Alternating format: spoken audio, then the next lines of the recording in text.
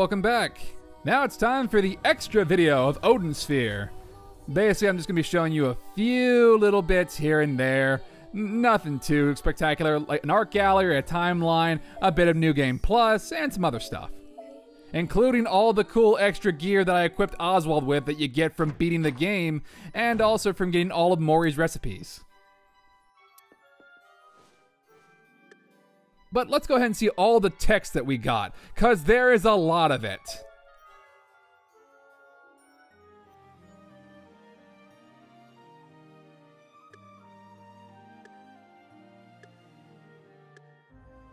There's your prophecy. There's your alchemy. There's just a whole bunch of stuff that we got throughout our entire playthrough. Yeah, we've been collecting a bunch of stuff for throughout this entire playthrough. Over 30 videos. Damn.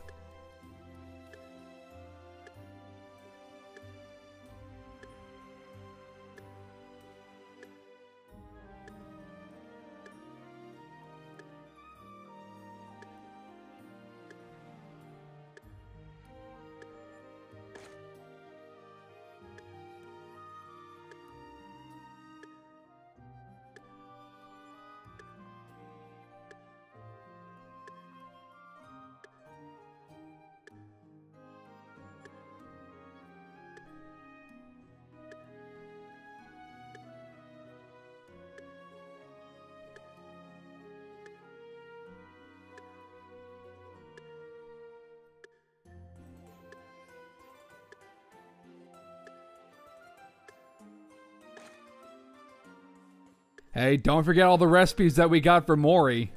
Tons upon tons of sumptuous food.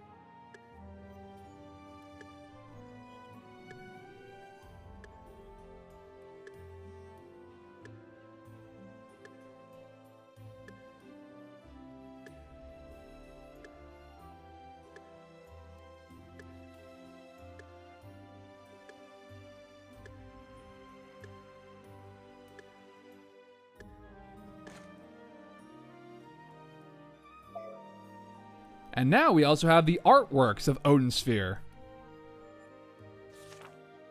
It's in Japanese, but hey, you don't need to speak the language to appreciate the artwork. Which, again, if I haven't beaten this dead horse enough, looks fantastic.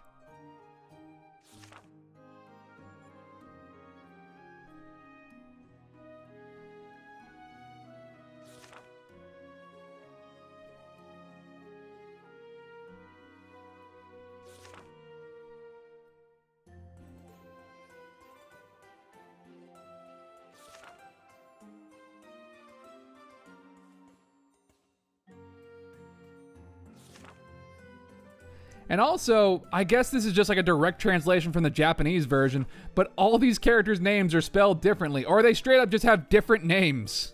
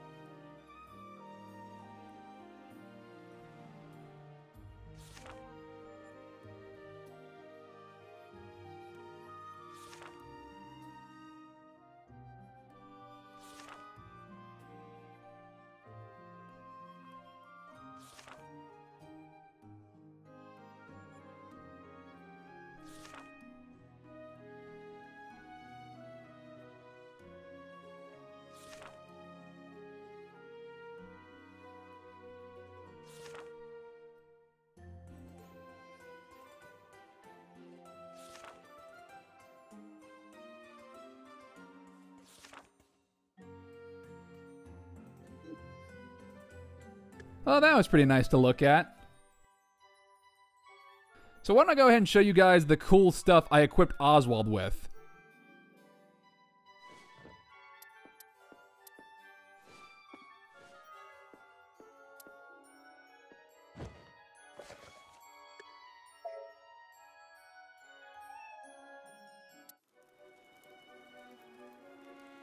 It's nothing too, too severe. Uh, we get the Royal Orb, which I believe you get from beating the game. It consumes phozons, but it increases your damage based on your level, which is super good. Also, Mori's Bell. Yeah, these are both really good items. I don't really equip Mori's Bell all that often, but hey, it looks nice, and it's a nice little reward from getting all the recipes for helping out your buddy Mori. I didn't go through the process of showing Mori cooking all the recipes because that's how you get this, not just from unlocking all of them, because that would be a massive time sink.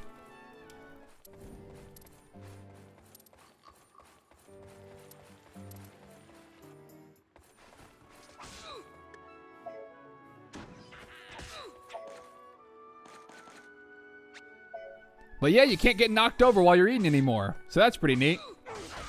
And also, you do stupid damage with the Royal Orb. Also, Oswald's level 99. That also helps.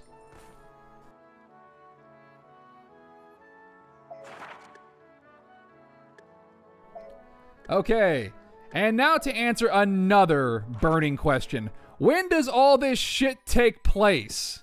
Well, I'm glad you asked. Because Odin Sphere has an answer for that. But first, let's hang out with Socrates. Aww. He's so cute. He's also the timeline. So, from the very beginning of Odin Sphere to the very end, you can finally know when everything takes place. And it is a big ass honking timeline.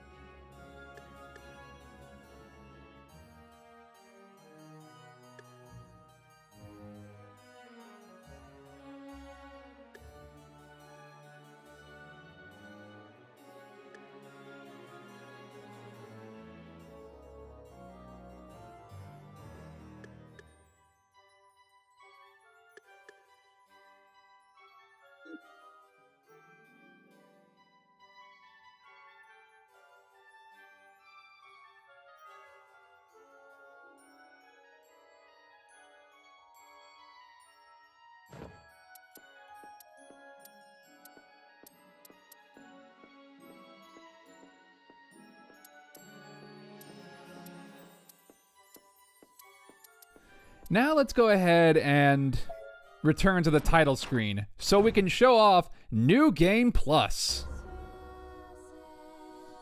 Extra New Game. In this New Game Plus, you keep your levels and your equipment and all your skills. However, the enemies that you fight also get a level boost to keep things on par with you, which makes them very, very strong.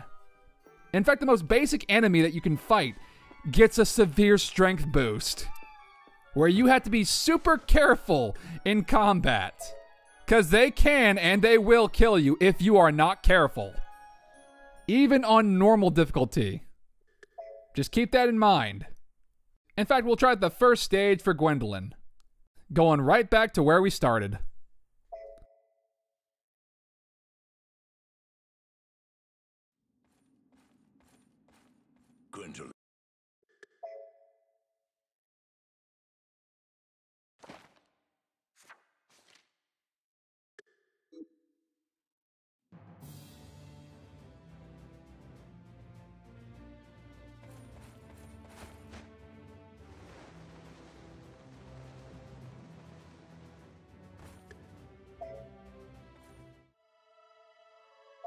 So it's not your typical New Game Plus where you can just like blitz all the enemies super easy. You gotta be careful. Now they're stronger and they can actually fight back. So a bit more strategy is necessary. And no, I'm not doing a New Game Plus run through of this game. Doesn't really change the story, it just makes the enemies stronger.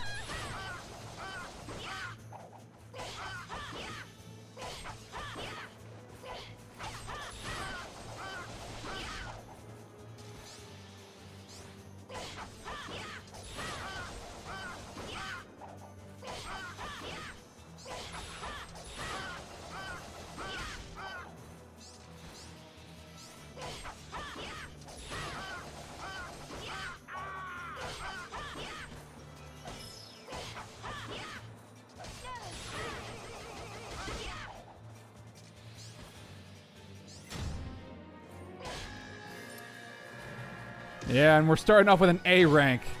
Oh dear. Besides the boss fight with Leventhan, it's been a while since I played as Gwendolyn. Fortunately, if you do a New Game Plus run, you don't have to really worry about Phozon prisms anymore. You can kind of just blitz through the game. You know, if you get past the powered up enemies. Because they are a lot stronger.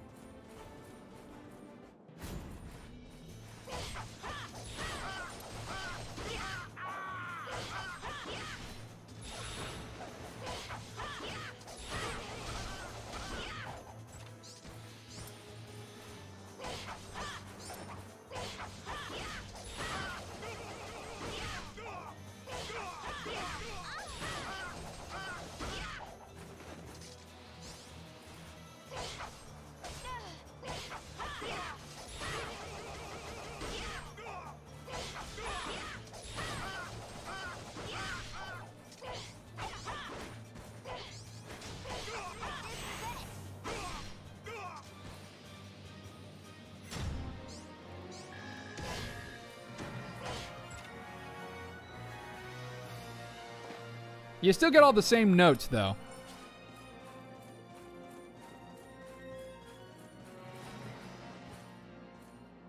Don't really need to talk to anybody because we've already done that before.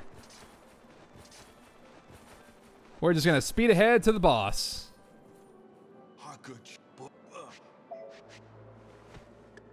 Yeah, and healing tonics are now more valuable.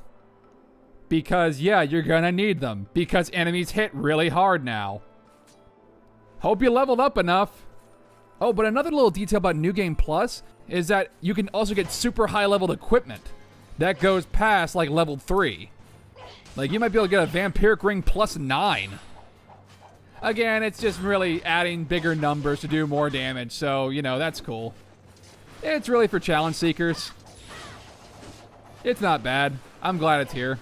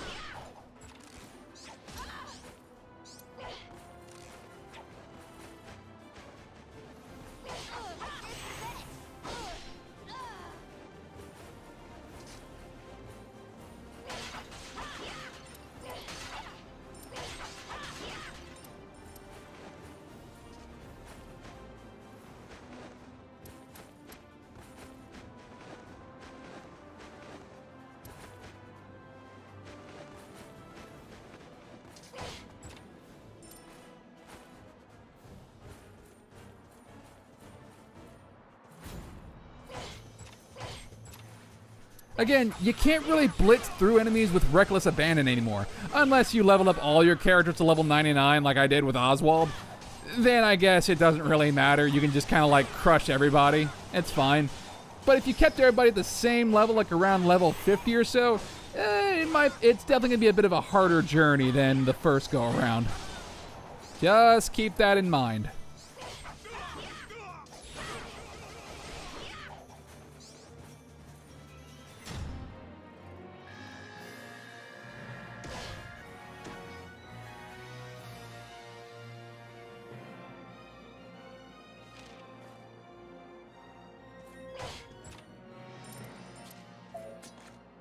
Even though the series is over, I still have to deal with inventory management bullshit. Go figure.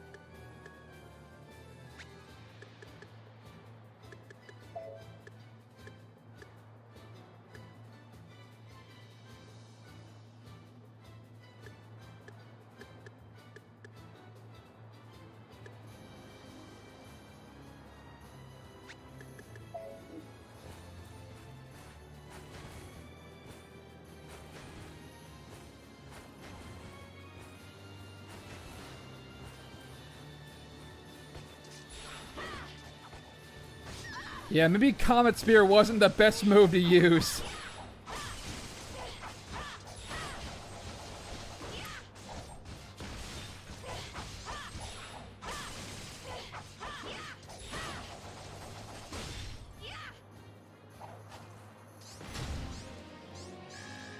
So after all that, was the Luck Stone even worth it? What level is this thing? Level 3. Okay, that's that's a decent level Luck Stone. It's okay. Item drop rate and luck goes up, so that's that's not bad. Sure. That's kind of worth it, I guess. But you don't get to carry the rest of your character's gear over. So the shared item box is no longer a thing. Ah, well. Anyway, let's go end this by fighting the first boss. Which, if we remember correctly, it's Belial. Wow, next to Mercedes, Belial just gets his shit kicked in like a lot during this game. Like a lot.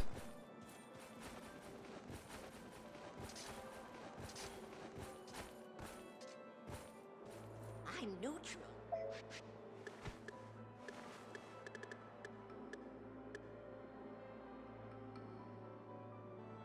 Yeah, just take all the healing tonics. Trust me, you'll need them if you're going on a New Game Plus run.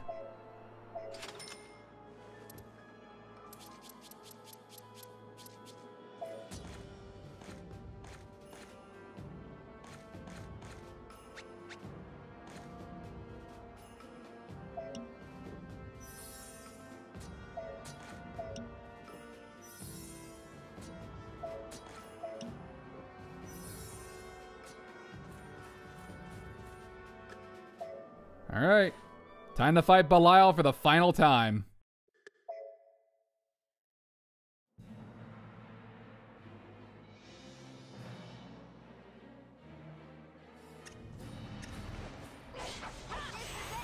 Nothing different. He just hits a lot harder.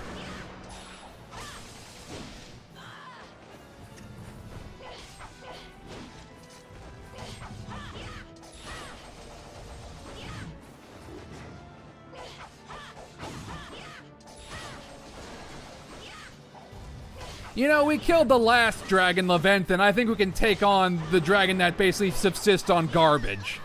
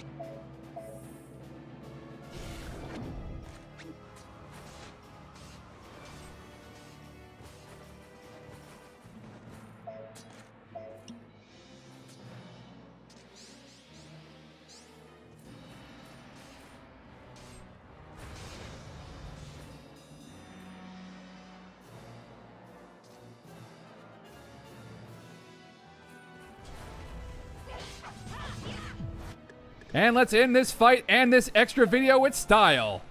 Gungnir! gear!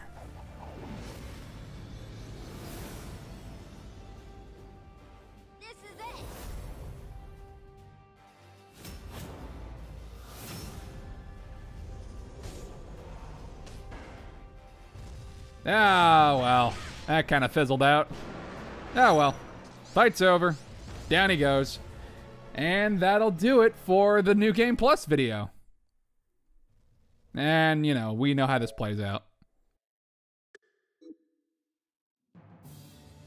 So, instead of continuing on, I think you guys get the gist of it.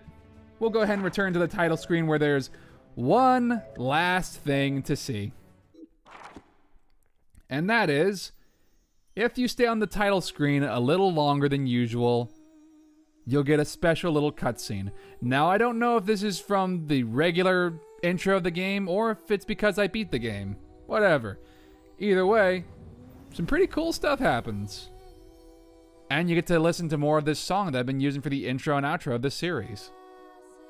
I like it. It's very soothing.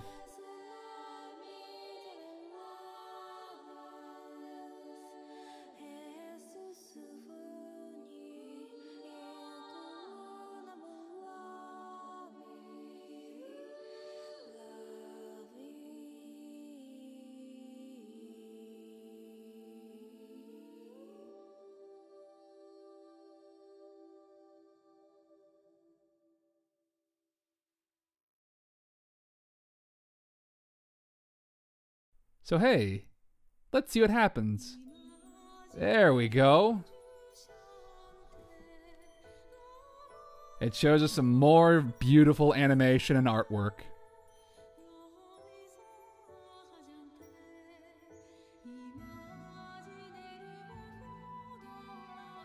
There's that butterfly. But more importantly, it shows us our cast. And their titles.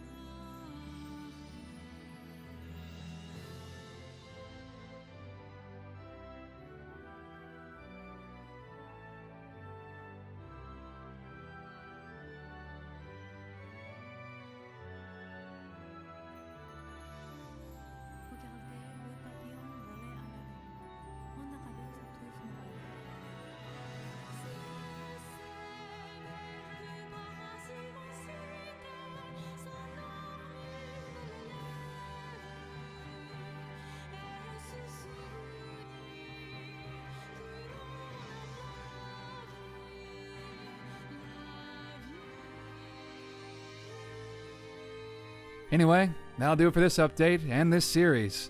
I sincerely hope you guys have enjoyed it. Anyway, thank you so much for watching. I'll catch you guys in the next series. Until then, see ya.